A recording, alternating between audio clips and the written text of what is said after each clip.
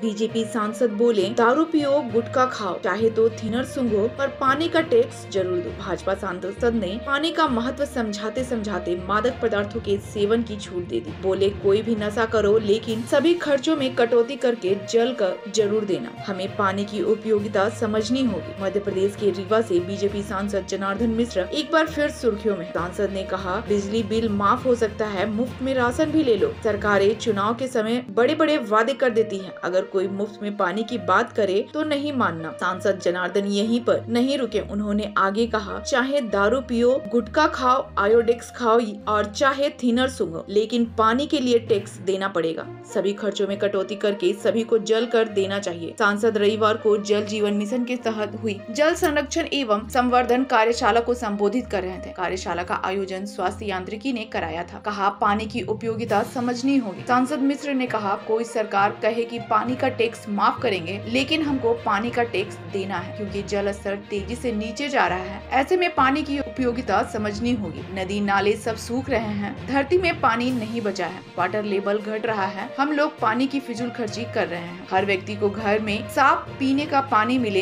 इसलिए सरकार ने हर घर नल योजना बनाई है। इसमें सहयोग करना चाहिए। जल समितियों का गठन कर वाटर टैक्स का भुगतान करना चाहिए, तभी योजना सफल हो पाएगी। बने रहे द खबरदार न्यूज़ के साथ। धन्यवाद।